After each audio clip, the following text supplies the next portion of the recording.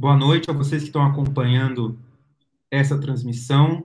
A gente não queria fazer essa entrada ao vivo para falar de um assunto como esse. Infelizmente, cenas trágicas que enchem o nosso coração de tristeza nesse incêndio que arde a Cinemateca Brasileira, o maior acervo da América Latina de filmes. Por isso a gente resolveu entrar ao vivo para comentar um pouco sobre esse assunto, esse assunto tão delicado, tão importante, que revela muito da face mais sombria do governo Bolsonaro e o seu projeto de destruição da cultura brasileira. Eu sou Matheus, da assessoria do mandato da deputada Samia Bonfim.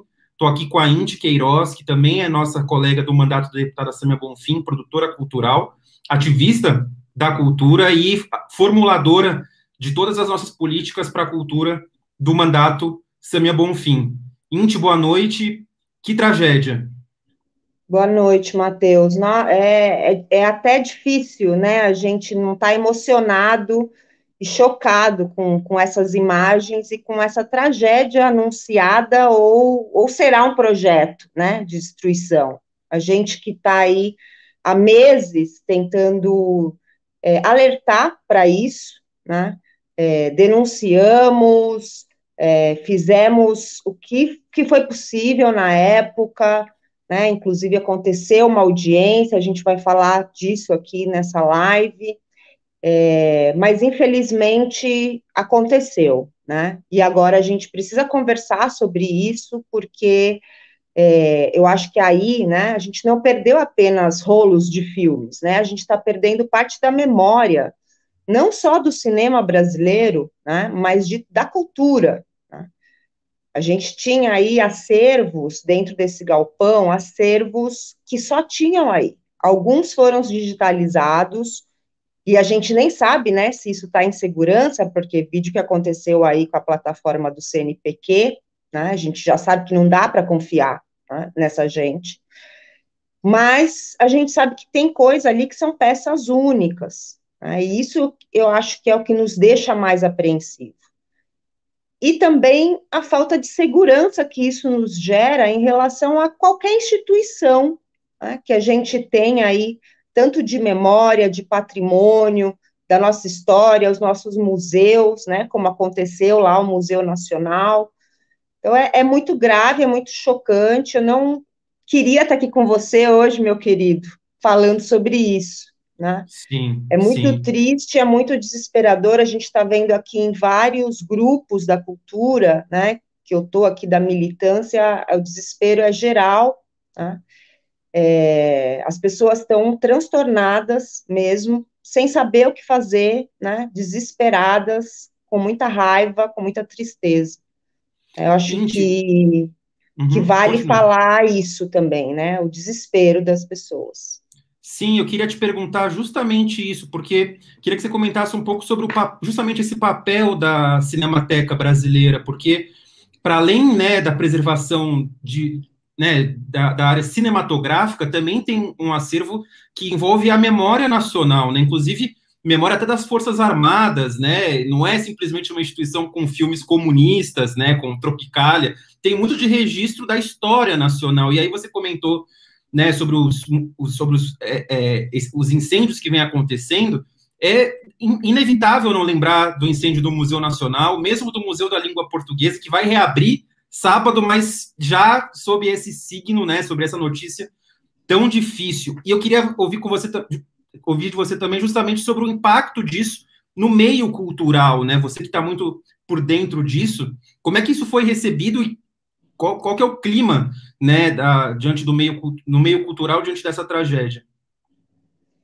Bom, a Cinemateca, acho que é importante frisar, né, que o que pegou fogo foi esse galpão ali na, na Vila Leopoldina, que inclusive é conhecido, né, não é esse, esse aqui, por exemplo, é, esse é, são os prédios lá da Vila Mariana, né, é, que também a gente tem um super medo, né, que queime, mas esse é o prédio central da Cinemateca, que fica ali perto do Parque do Ibirapuera, tá, é, e aonde fica o maquinário, os escritórios, inclusive, é, durante muito tempo foi a representação do Ministério da Cultura em São Paulo, né, um escritório de representação do Ministério da Cultura, quando ele ainda existia, né, para quem não sabe, o Bolsonaro extinguiu o Ministério da Cultura, e o que pegou fogo foi um galpão é, que existe já há algum tempo, e que era um galpão específico até, é, teoricamente, para não misturar com esse espaço, que é um espaço onde transitava mais gente, né, até porque nesse espaço, antes, antes né, do governo Bolsonaro, aconteciam palestras, cursos, né, porque depois que o governo Bolsonaro entrou, esse espaço que a gente viu antes, é, ele parou de ser usado praticamente, né, é, já faz alguns anos que se tornou é, uma organização social, né, a Cinemateca, ela é aquela parceria público-privada, tá, só que desde o ano passado, há um ano, né? Na verdade, agora em agosto, vai fazer um ano que acabou o contrato, né? A OS anterior era a Fundação Roquete Pinto, é, eles não continuaram o contrato e estava há um ano é, praticamente sem técnicos, porque eles demitiram todo mundo, né? Todos os técnicos, técnicos de carreira, alguns que estavam ali há, há muitos e muitos anos, alguns com especificidades técnicas únicas no Brasil né, não são substituíveis por outros, outros tipos de pessoas, né, como eles gostam de colocar aí os militares em todos os lugares, mas são trabalhos muito específicos, né, de restauro, de conhecimento, de películas e etc., né, quer dizer, você não pode substituir por qualquer um esses tipos de técnico, tá, e eles demitiram é, essas pessoas, 62 funcionários foram demitidos, é, se eu não me engano, foi por volta de, de setembro, agosto, e eles foram demitidos e não foram pagos, inclusive, os direitos trabalhistas desse, desses funcionários, né? A gente fez uma audiência pública em abril, é, junto com outros deputados, denunciando isso. Né? Até então, esses funcionários não tinham ainda sido pagos também, só que o que é, essa associação né, é, dos, dos trabalhadores da Cinemateca exigia é que, na verdade, eles colocassem os técnicos de volta ali, porque são pessoas que têm especificidades de trabalho muito específicas, não poderiam botar qualquer pessoa, né? É, então já começa por aí o problema. E outra. Um trabalho muito é, delicado, né? Muito delicado, muito técnico, só para quem, né? Essas pessoas fizeram cursos no exterior. A gente, se a gente for pensar, né, o cinema brasileiro, ele é um cinema que a gente acabou se profissionalizando muito aos trancos e barrancos. Né? A gente não é uma Hollywood onde você tem cursos técnicos disponíveis, né? Muitas dessas pessoas foram para fora estudar. Né? É, então é muito importante que as pessoas primeiro entendam isso. E uma segunda parte foram foi a, o corte de recursos que aconteceu logo quando o governo Bolsonaro entrou. Ele reduziu o, o orçamento da cultura e principalmente do audiovisual ao mínimo, tá? e parou de passar recursos para a Cinemateca, tanto que essa essa manifestação que a gente está vendo foi uma das, né, na verdade aconteceram várias, foi para tentar reverter isso, essa, essa foi é, ainda, acho que em 2019, essa, teve em 2020 também, né, foi a questão até, inclusive, da greve, né, dos trabalhadores da Cinemateca, justamente para denunciar que não estavam recebendo recursos, não estavam recebendo já há muito tempo financiamento. É, para você ter uma ideia a que ponto chegou, eles ficaram sem pagar conta de luz e água dos prédios da Cinemateca por mais de sete meses, Matheus. É uma vergonha. É, é, é uma. Aí, né, quando a gente fez a audiência em abril, o diretor, né, e aí, porque fica, ficou sem gestor, né, então, o que, que eles fizeram? Eles criaram um cargo novo, né, dentro ali da, da Secretaria do Audiovisual, é, um cargo de diretor do Departamento de Políticas Audiovisuais por um moço chamado Hélio Ferraz de Oliveira, ele inclusive fala isso na audiência, que, né, que o cargo dele é novo para ele criar, para ele cuidar da Cinemateca. É uma, uma cinemateca que, na verdade, sempre teve uma gestão muito horizontal, muito coletiva, né, então ele passou ali ser o gestor, entre aspas, dessa cinemateca, desde que começou a acontecer esses problemas todos e que a Fundação Roquete Pinto saiu, né, da situação.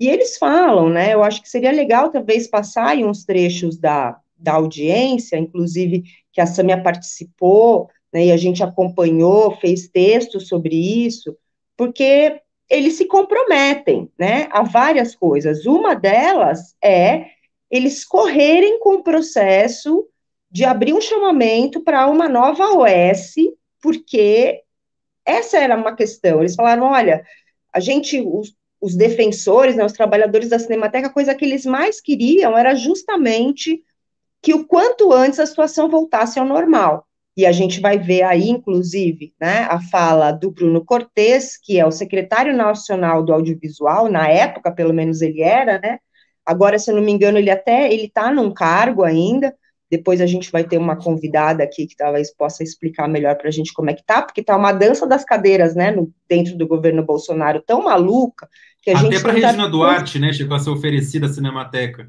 Pois é, até, até a Regina, né, é, e aí o Bruno Cortes fala algumas coisas. É, vamos, vamos ver o vídeo? Está no ponto aí?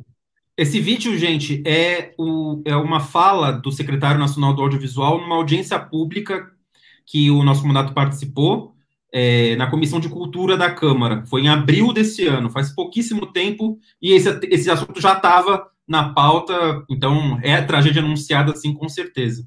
Vamos ver.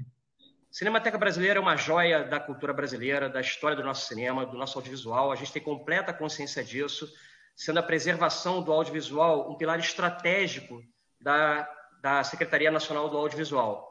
Razão pela qual a gente, inclusive, criou uma coordenação geral específica dentro da Secretaria para cuidar da Cinemateca, que é algo que não havia antes da nossa gestão.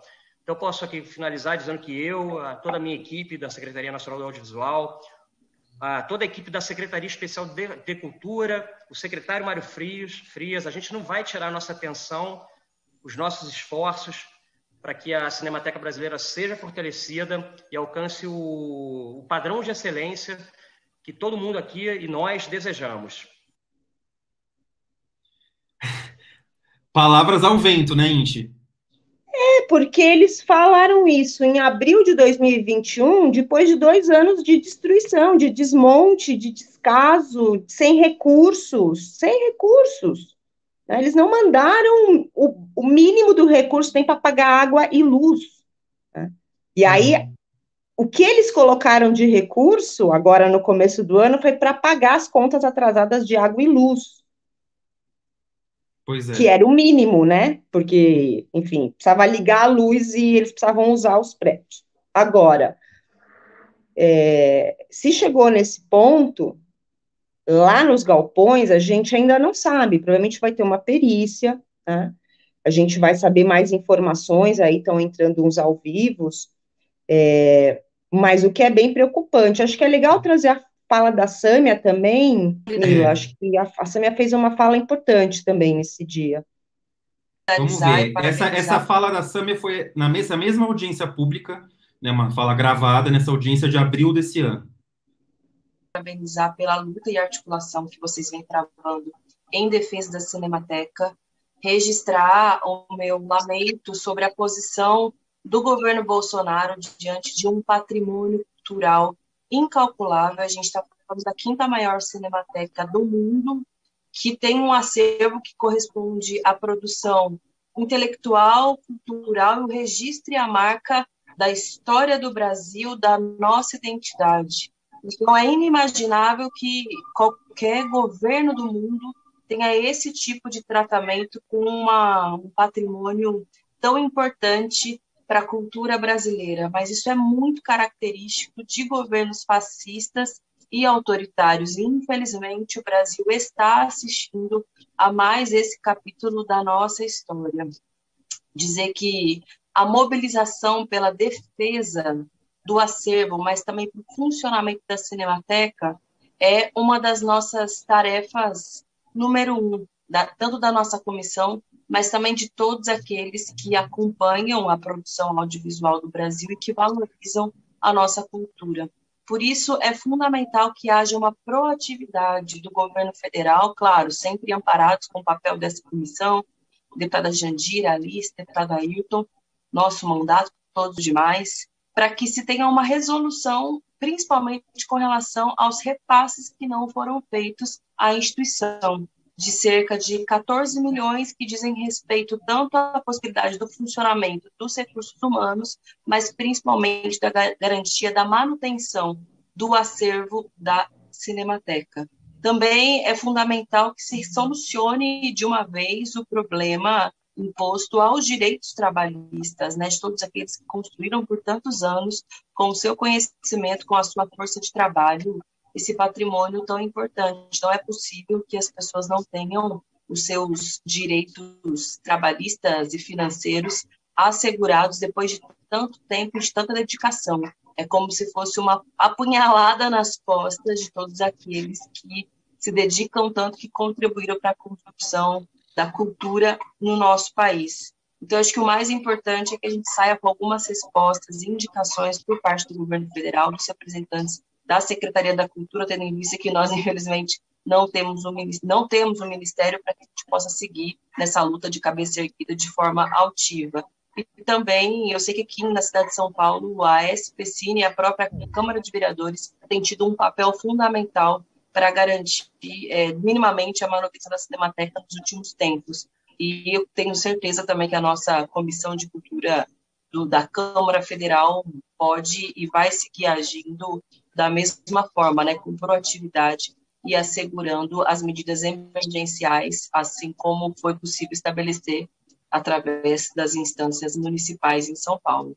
É isso, pessoal. Fica aqui a nossa solidariedade nossas melhores estimas a todos vocês e que nós possamos resolver de uma vez por todas essa dinâmica de destruição dos patrimônios culturais brasileiros que passam, infelizmente, também pela Cinemateca. Muito obrigada.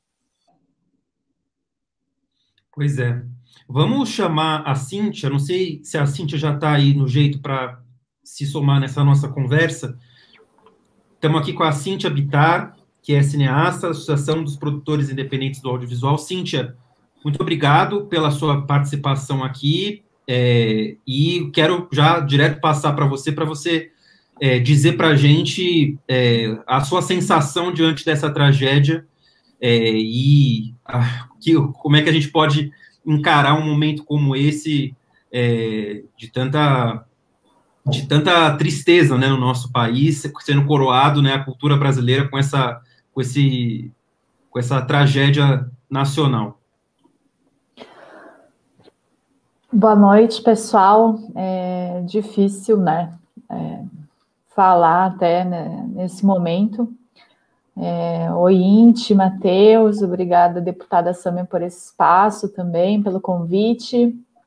É, falo aqui, então, é, pela API, Associação das Produtoras Independentes do Audiovisual Brasileiro, uma entidade é, que é jovem, mas conseguiu um grande destaque nos últimos dois anos de existência, nos primeiros e últimos agora, né, recentes, é, um destaque que a gente nem gostaria de ter, porque esse destaque é de ficar defendendo o tempo inteiro o cinema brasileiro, o audiovisual brasileiro independente todo dia, desde que nossa entidade existe e que eu estou na diretoria, que a gente precisa lidar é, com uma grande bomba que acontece contra o audiovisual brasileiro.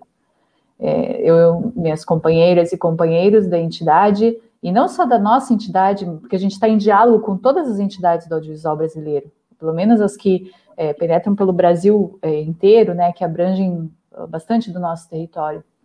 E é todo dia, todo dia algo nos atingindo, é, todo dia mais uma cena desse plano terrível de aniquilação do cinema brasileiro, da cultura brasileira, da produção cultural, né, claro, da produção artística, da ciência, da educação. Estamos passando por um momento que eu nunca imaginei viver, é, que quando era criança via na aula, né, quando a gente falava de é, obscurantismo, idade das trevas. Eu lembro que eu pensava, criança, nossa, isso nunca iria acontecer no Brasil. E eu nunca verei algo como isso. E é isso que a gente está vendo. Um país que a gente tem um governo que não se solidariza é, com as pessoas, estando há meses morrendo aí mil pessoas todo dia de uma peste, né, de uma pandemia que tem vacina. A gente acabou de testemunhar aí o sumiço de dados do CNPq, que a gente já estava chocadíssimos né, com essa situação. E hoje, agora há pouco, a notícia do incêndio, é, que pelo que eu averiguei aqui, são quase quatro toneladas de documentação do cinema brasileiro é, que provavelmente viraram cinzas. E eu digo provavelmente porque é, quem vai averiguar essa situação? Quem vai conferir o material que foi incinerado? Quem, quem hoje está trabalhando na Cinemateca?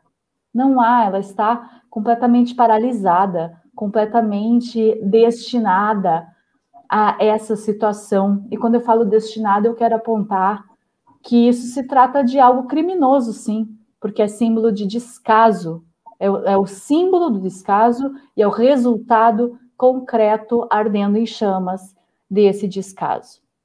Né? Um lugar, um país é, sem memória é uma terra arrasada, é um país onde qualquer um pode vir, chegar a tomar o que quiser, contar qualquer história, como se não tivéssemos passado, como se não tivéssemos origem. As pessoas não têm a dimensão do que é a Cinemateca Brasileira. As pessoas talvez não, não, não sabem a importância que qualquer país que se preze, qualquer sociedade que se preze enquanto sociedade, que ainda existe um pacto social entre as pessoas que habitam um território, que é isso que eu chamo de sociedade, qualquer lugar assim preza pela sua cinematografia, preza pela sua memória artística e cultural. Não é o que a gente vê no Brasil. A gente vê no Brasil hoje o resultado de um descaso criminoso contra o cinema brasileiro, contra as artes, contra a produção cultural, contra a memória desse país e contra a sociedade como um todo. É duro, viu, pessoal?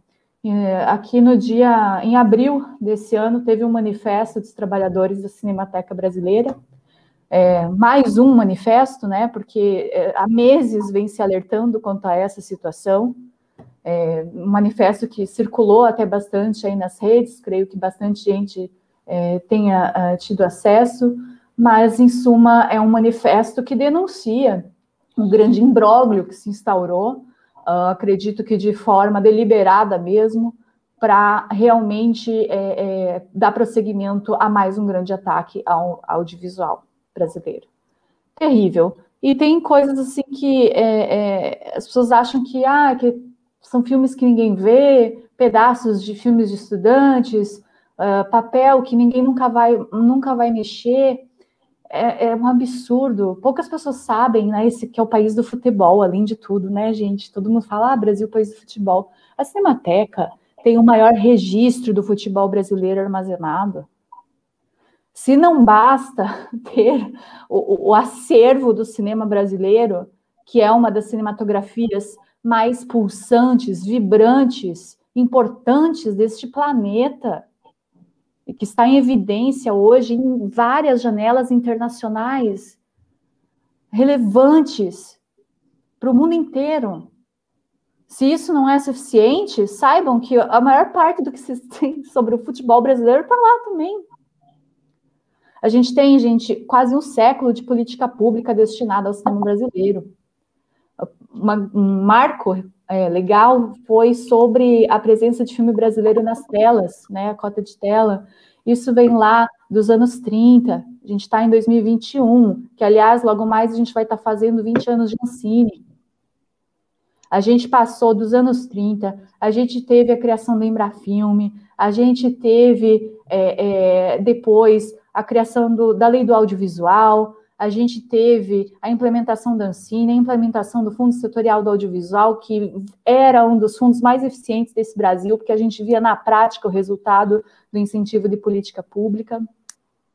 A gente vem construindo um século de políticas públicas que estão virando cinzas.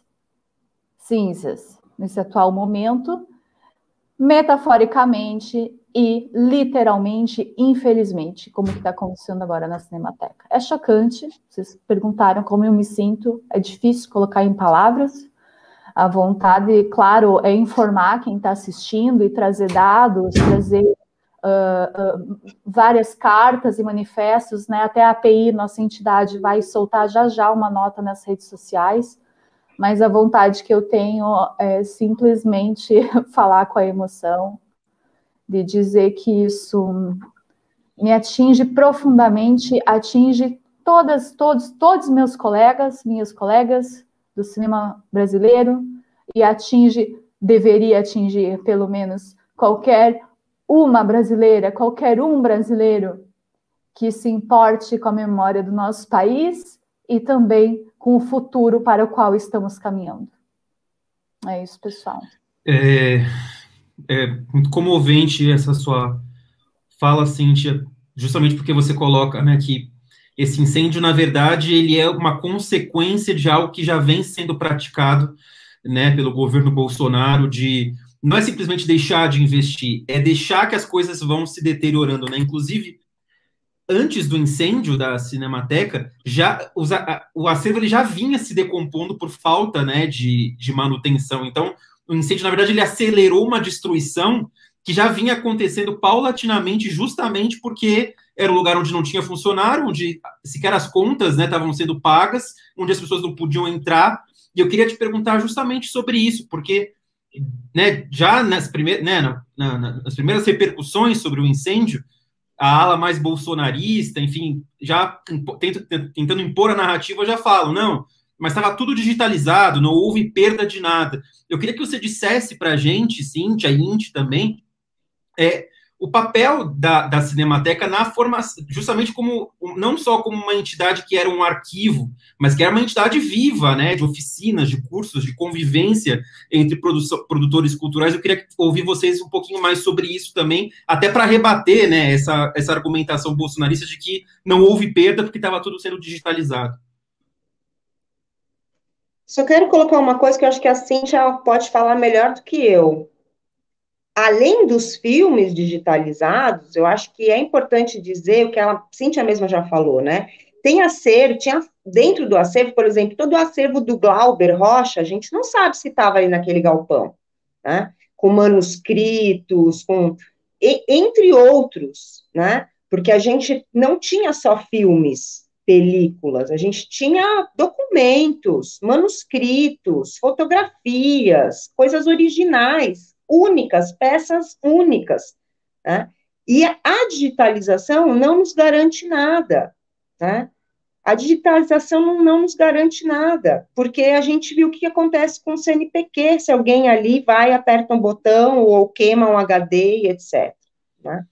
Então, não adianta eles dizerem isso porque a digitalização não é, né, eu acho que é, é a minha primeira formação em história, né, a gente sabe, né, que o que realmente fica, né, para milênios, são coisas materiais, são coisas físicas, né, quando a gente vai em museu, a gente vê manuscritos originais, né, e aquilo fica, agora, o digitalizado, daqui a uma semana pode não existir mais, né, mas eu acho que a Cintia conhece melhor esse acervo do que eu. Eu sei que eu fiz muito, eu fiz cursos na Cinemateca, eu fui a palestras, fui a reuniões ali da, das políticas do audiovisual várias vezes, né?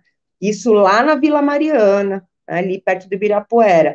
Mas esse espaço desse galpão, inclusive, é, que eu saiba, ele foi justamente alocado ali para não ter perigo de ser próximo a um espaço que tinha uma movimentação maior de pessoas, né? Só que tem um histórico. No ano passado foi alagado ali, porque aquela região da Leopoldina é fácil alagar ali por causa do Rio Pinheiros, né? Uhum. Já estava sendo pedido para que saísse de lá esse acervo, justamente por conta dos recorrentes alagamentos. Passo a bola aí para a Cíntia comentar também. É, Inti, quando o Matheus comentou né, da questão da digitalização, justamente me veio à cabeça, poxa vida, é, pô, há um, poucas horas a gente soube do desastre do CNPq, então uh, qualquer um que fale que a digitalização está salvando alguma coisa é como se fizesse uma piada fúnebre sobre tudo que está acontecendo. Um, é, não, não há comentários possíveis, porque até como é que eles sabem o que está nesse lugar? Eles não têm a menor noção.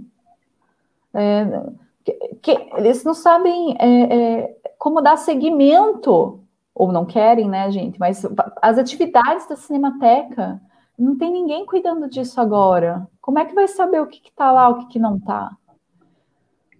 Nossa, é chocante ver essa guerra também, né, de desinformação. Isso é terrível, terrível. Que daí essas pessoas, né, que têm uh, vários seguidores e tudo mais, falam uma coisa dessa, além do seu compromisso que deveria ser, né, com a defesa dos interesses da sociedade brasileira, ainda falam essa grande desinformação, essa bobagem na mesma semana em que uh, ninguém sabe como é que ficaram os arquivos do CNPq não, não, não, não tem o menor cabimento, não tem. O fato é que a gente ainda não sabe o tamanho dessa tragédia. A gente não sabe. Eu, eu tenho medo do que vai ser os próximos dias, do que vão descobrir a partir disso. E vejam, a gente né, tem, acorda se dando cada, cada manhã assim conta do país em que a gente está vivendo, é assustador demais. É assustador demais. É, são situações que uh, 15 anos, 10 anos atrás, a gente pensaria que estaria acontecendo com um país de, de, de uma ditadura extremista, de perseguição uh, evidente à luz do dia, às claras, da classe artística, é, e isso está acontecendo aqui no nosso Brasil. Então, a gente precisa começar a levar mais a sério o que está acontecendo aqui. A gente está numa guerra estranhíssima atualmente, uh, com, a, com, algumas características daquela guerra fria, aquela guerra assim que as pessoas não conseguem, às vezes têm dificuldade de entender os inimigos ou de nomear, dar nome às coisas, né? Mas é muito importante que se dê nome às coisas. E o que a gente está enfrentando hoje é uma nítida indiscutível perseguição à classe artística. Indiscutível. A Cinemateca é um. É, é, esse incêndio, ele faz parte disso, dessa perseguição. O problema é que isso não afeta só a gente que trabalha com cinema, não afeta só a gente que trabalha com audiovisual. Isso é um problema do Brasil todo, todo as pessoas, eh, não sei se todo mundo tem essa consciência, mas o nosso setor, aliás, a produção cultural como um todo, movimenta outros 68 setores da cadeia econômica do Brasil. São dados do Sebrae. Quando fala qualquer assunto que toca sobre audiovisual, é importante saber que não é só sobre audiovisual que se está falando. Cada vez que se fala de cinema, de audiovisual independente, se está falando de geração de empregos, de renda, de memória, de cultura, de índices econômicos que vinham superando setores tradicionais, como têxtil, farmacêutico, automobilístico, superando índices como de geração de receita, de contratação, de contribuição ao PIB, inclusive, de alguns setores. Então, é absurdo, é importante que quem estiver assistindo entenda que isso não é um assunto só do cinema brasileiro. Nunca foi e espero que nunca seja, porque é importante que as pessoas se choquem com o que está acontecendo. Todo dia, se abrirem os jornais, as janelas, né? Eu ainda sou meio analógica algumas coisas, mas se abrirem esses jornais, vão ver que todo dia tem um ataque ao nosso cinema. Todo dia. Ao audiovisual e ao cinema. Uma das primeiras coisas que o Bolsonaro falou quando assumiu foi que ia destruir a Ancine. Eu, eu imagino que algumas pessoas estão felizes vendo isso acontecer. Isso é pavoroso demais, demais. E é sintomático porque falaram que queimaram muitos documentos, né? O que se está apurando agora, mas esses documentos atestam o quanto política pública funciona. Isso é gravíssimo.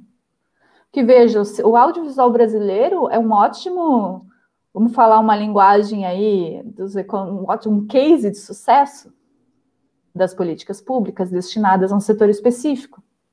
Esse resultado que a gente vem tendo de filmes brasileiros em festivais de renome, aclamados pela crítica internacional e especialmente aclamados pelo público, pelo, pelo público do Brasil, que é o que a gente quer, fazer um filme que encontra o seu público aqui. É, esse resultado, gente, é o encontro das políticas públicas com os talentos do setor, com a potência do nosso setor. Então, a gente é a prova de que dá certo um plano estratégico com pessoas capacitadas, coordenando esses órgãos, investindo, diagnosticando onde precisa ser investindo, preservando o que tem que ser preservado, incentivando uh, novos talentos. A gente provou que isso dá certo na prática. É só ver os nossos índices, além dos indicadores né, da, da representação que o nosso cinema faz no Brasil, lá fora e aqui dentro, existem os indicadores econômicos para testemunhar isso. E talvez toda essa documentação é, que dê conta de provar isso para pesquisadores no futuro, para quem quiser investigar o sucesso que é se investir a partir do, do governo, de uma política pública em audiovisual, pode estar em cinzas agora. Então, é, é, mais uma tragédia que está ocorrendo contra o país. Pois é, e eu queria é, ouvir vocês, porque o, o, governo, o Bolsonaro, na campanha, ele já colocava esse tema da guerra cultural no centro do discurso dele, né? Fazendo, inclusive, é, é, distorções e, e, misturando temas, então, falando de lei Rouanet, falando de doutrina, é, ideologia de gênero, tudo isso junto para criar esse espantalho, né? E atacando mesmo a, a cultura nacional, com esse ataque que ele fazia que ele fez a Ancine, enfim, a Fundação Palmares, enfim, é, é um projeto que não é lateral, né? A gente sabe, a gente que é, quem tem oportunidade de, de, estudar um pouco mais sobre o fascismo, sabe que esse é um elemento, inclusive, estruturante da, do, da, da lógica fascista, né? De você é, taxar como algo infame a cultura, a cultura popular, né? E tentar retomar. É só lembrar daquele aquele, aquele nazista, eu não esqueci o nome dele, Inti, que fez um discurso é, parafraseando Goebbels, o, Roberto o Alvim. Isso, o Alvim, o antigo secretário de Cultura. Então, isso é, não, não dá para dizer que simplesmente é negligência ou que é incompetência. É deliberado, é claramente deliberado. Eu queria que vocês comentassem um pouco disso, porque por que, que o cinema incomoda tanto um governante como Bolsonaro? É, eu acho que foi bom você ter lembrado do Roberto Alvim, né? e também já lembraram aqui da Regina Duarte, né, que é uma atriz de renome, né, fez muitas novelas, enfim. E agora nós temos aí o Mário Frias, que é um, um ator, né, que, que a gente conhece pela, por malhação e, e, só, né, eu não me lembro dele ter feito mais nada além disso, enfim.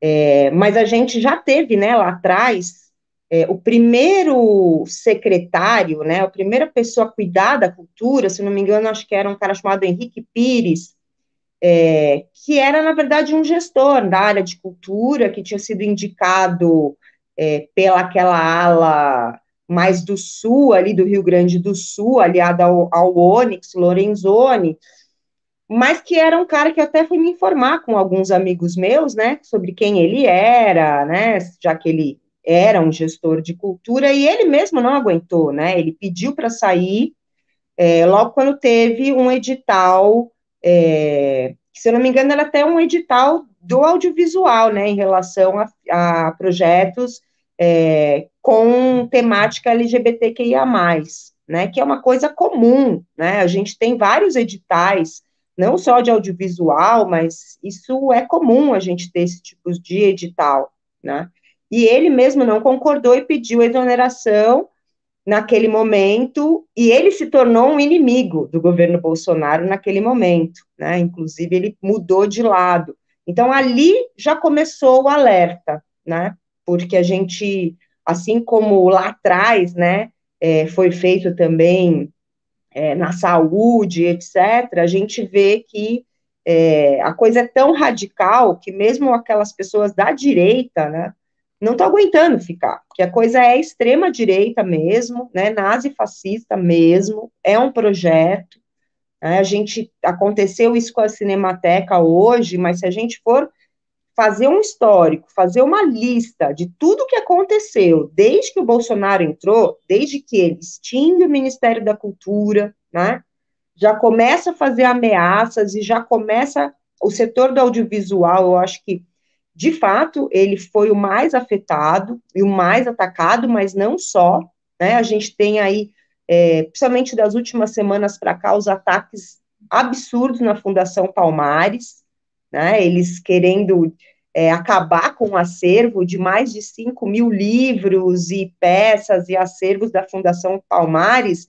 alegando que são livros marxistas, comunistas, sei lá que maisistas, né, que eles inventam, livros que, que a gente sabe que são de literatura, né?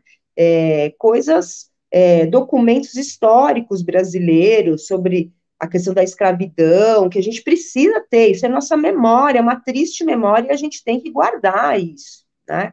Mas você vê, o próprio diretor, né, da Fundação Palmares, o Sérgio Camargo, nega que, que houve, né, pessoas escravizadas no Brasil, é, e ele é negro, então é uma Parece coisa. Parece que foi colocado lá justamente para isso, né? Exato, né? Então, assim, há uma negação da história, e eu acho que esse incêndio, ele pode ser tido como o auge da censura no país, né? É um apagamento, é uma censura, né, que eles têm, têm feito, né, eles têm censurado aí projetos da Lei Rouanet, a gente mesmo está colocando aí vários processos várias ações e representações do Ministério Público né, em relação a projetos, como teve agora há pouco a, história do Festival de Jazz, ou mesmo do Instituto Herzog, né, os processos que a gente está colocando aí junto com outros deputados também. Então, quer dizer, é uma coisa muito estranha, né? A gente fala que é muito estranho para não para que a gente não crave e diga, olha, nós temos um governo nazi-fascista, é isso, né?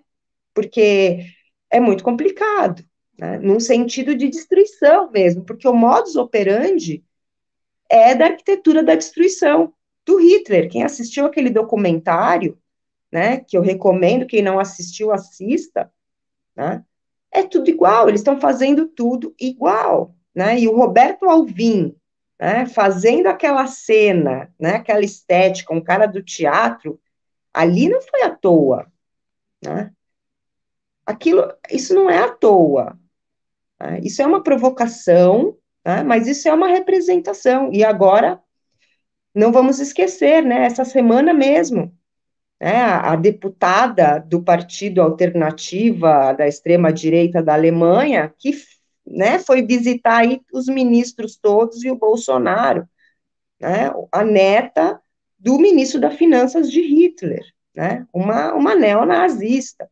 Então, quer dizer, é desesperador, né? Eu vou ser, ser bem sincera, é, tipo, eu tô muito chateada, muito triste com tudo que aconteceu, mas eu não consigo nem me chocar tanto mais, né?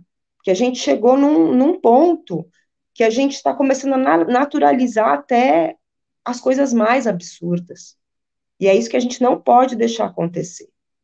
Né?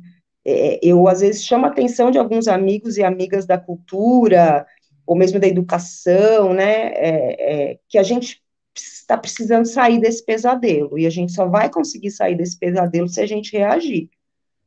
Eu estou vendo muita gente é, entrando num ritmo de torpor, né, de inação e de medo também, né, eu vejo que a gente não pode deixar isso acontecer. A gente, junto, é muita gente, né, a gente vai precisar reagir. Eu acho que a melhor reação tem que vir da cultura, porque a cultura é a disputa de narrativa-chave contra o nazifascismo.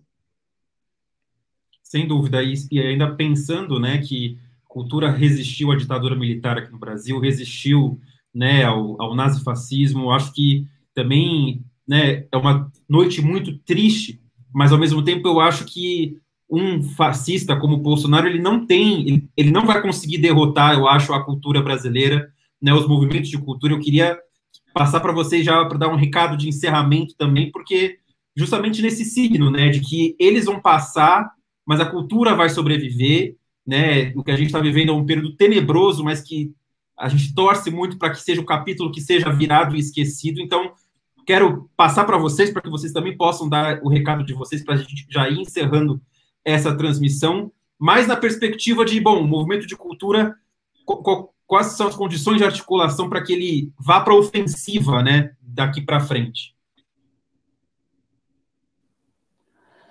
É, ainda estou me recuperando da imagem do Alvin junto de Goebbels, que é, a gente passa uns meses, né? E aí a gente vê de novo isso. É, é interessante a gente começar a olhar em retrospecto tudo que vem acontecendo já desde janeiro de 2019, para além do que já vinha acontecendo desde 2016 mas porque justamente a normalização desses fatos absurdos, obscuros e das trevas mesmo, é, faz com que a gente acabe apagando, né? Sem querer, a gente às vezes deixa de lembrar de tudo que vem acontecendo e não podemos deixar de lembrar. Isso que a gente coloca, né, da questão do choque, é muito importante que a gente não pare, não pare mesmo de se chocar. É difícil, são muitos absurdos. É todo dia muitas pautas que nos atingem direto ou indiretamente, todo dia, todo instante. Mas a gente precisa estar alerta, estar em choque, estar articulado, porque o que vai sobrar do jeito que as coisas estão caminhando, atropelando é preocupante a situação em que estamos, verdadeiramente preocupante, não é alarmismo, não. Né? Sobre essa questão do nazismo, bom, eu moro em Santa Catarina, né, pessoal? Então, ainda vivo nesse estado que tem aí, que concentra uh, comprovadamente o maior agrupamento, né, de, de, de nazistas, neonazis do Brasil, especialmente se considerando a quantidade, o número de habitantes, né? Então, é um tema que me, me, me toca muito. Até hoje no The Intercept levantou-se né, uma documentação, parece uma carta que o Bolsonaro uh, havia uh, publicado em sites nazistas anos atrás, que é uma pauta importante para a gente estar em alerta também, porque, Mateus, como tu falaste, realmente parece que a receita desse bolo uh, putrefado do fascismo é, estamos como ingrediente, ingrediente dessa receita, que é a aniquilação da cultura, das artes, do cinema. Né?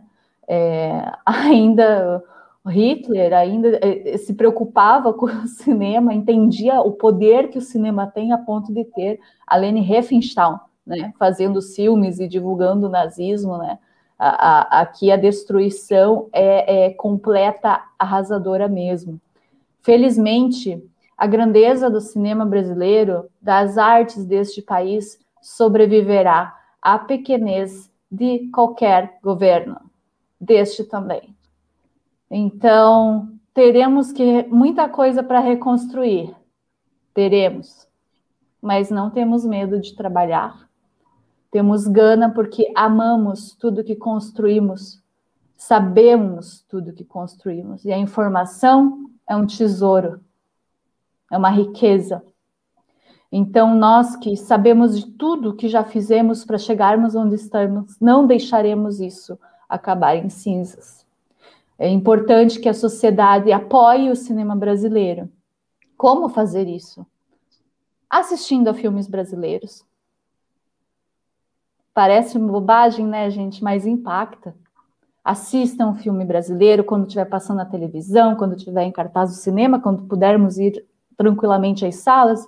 Assistam nos streamings, demandem cinema brasileiro. Não só filmes recentes, filmes antigos. Perguntem do catálogo da Cinemateca, perguntem o que há dentro dessa Cinemateca, pesquisem como uma Cinemateca é importante para a memória de um povo.